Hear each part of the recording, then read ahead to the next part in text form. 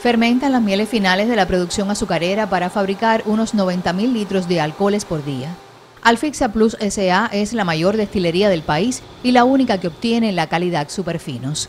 Modernizada hace más de tres años con capital de los socios españoles de la firma Alfideme, mantiene su estabilidad y eficiencia energética e industrial conforme a estándares internacionales. Hemos logrado ya cumplir el plan de producción eh, con 18 días de antelación del, del, cierre del primer semestre, con más de 123 mil litros de alcohol producido. De un plan de insumo de miel de .383 toneladas de miel por hectolitro de alcohol producido, hemos logrado hacerlo con punto 365, eh, los cuales nos va a dar 3.500 hectolitros por encima del plan. Ubicada en las inmediaciones del Central Antonio Sánchez del municipio de Aguada de Pasajeros, se enlaza con su industria de derivados para procesar las vinazas resultantes y levaduras en alimentos para la cría animal, biofertilizantes y dióxido de carbono empleado en bebidas. Todo este encadenamiento nos ha eh, dado la posibilidad de este año obtener el reconocimiento ambiental a nivel provincial Estamos optando también por el premio de la calidad cuando cierre el año.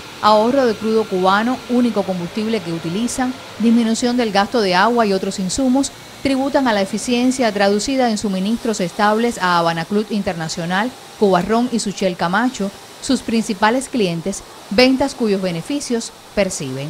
El salario aquí en la fábrica promedia entre 8 mil pesos por, por trabajador y con el cumplimiento de los planes de utilidades eh, podemos lograr entre 15 y 16 mil pesos mensuales. Desempeño que hace de la empresa mixta Alfixa Plus SA el más acabado ejemplo de diversificación de la industria azucarera en el país.